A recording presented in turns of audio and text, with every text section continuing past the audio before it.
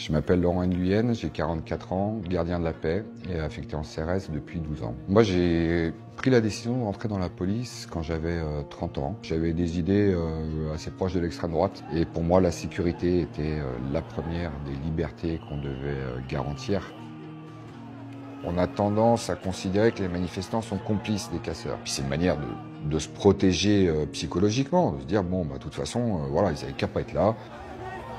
Il y a un ordre de dispersion, il y a des casseurs, ils restent à côté des casseurs, donc ils sont complices. Donc le droit de manifester, bon, ça fait partie de la loi, effectivement, mais à un moment donné, on peut pas avoir des manifs tout le temps. Il y a des, il y a des gens qui sont élus, ben, si vous n'êtes pas content, euh, c'est comme ça. J'étais dans ce logiciel-là, ça m'allait très bien.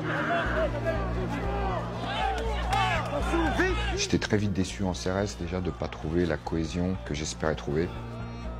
Quand vous arrivez, euh, que vous pensez euh, sauver la France. Que vous êtes confronté aussi euh, au désespoir de certains collègues dans ces commissariats qui travaillent dans des conditions abominables. Bah, c'est difficile à vivre en tant que policier, ce sentiment euh, d'impuissance.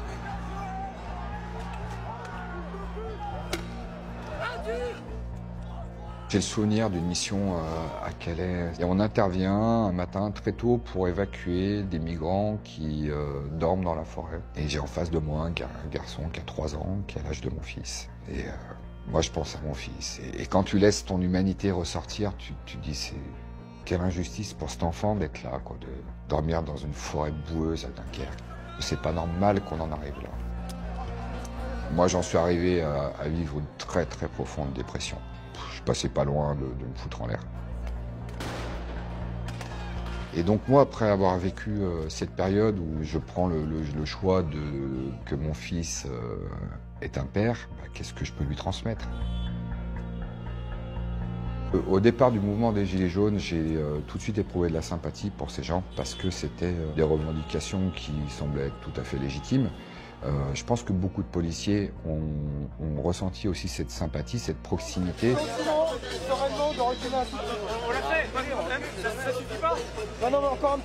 Il y avait une gêne chez beaucoup de mes collègues. Et euh, quand on a eu les premières scènes de violence qui ont été diffusées dans les médias, euh, moi j'ai eu le sentiment qu'il y avait une forme de soulagement chez certains policiers.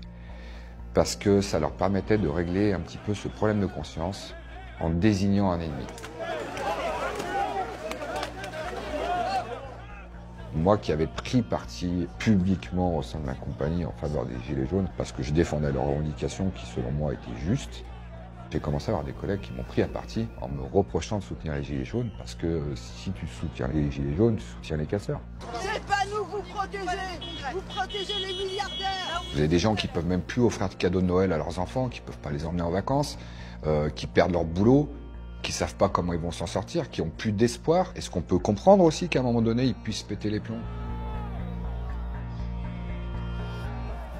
Alors il y en a qui disent que réfléchir, c'est désobéir, ou alors qu'il faut pas avoir d'état d'âme. Mais moi, je veux pas me priver de mon âme, je veux pas me priver de ma conscience. Et moi, on m'a souvent reproché d'être un idéaliste, comme si c'était une tare. Aujourd'hui, je le revendique, oui.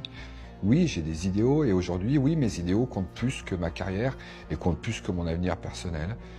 Si je dois perdre mon boulot, euh, ben, je perdrai mon boulot. C'est trop précieux pour moi de m'être trouvé, d'avoir trouvé mon humanité pour courir le risque de la perdre.